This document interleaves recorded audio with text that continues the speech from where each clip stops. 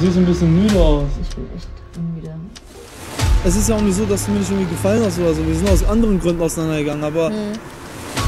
Ja, ich glaube, das liegt halt auch, also guck mal, das liegt ja halt auch nicht daran, glaube ich, dass wir uns nicht äh, lieben, also so lieben oder so, ne? Oder gern haben. Aber ähm, guck mal, wir sind ja jetzt auch schon eine lange Zeit halt äh, nicht zusammen.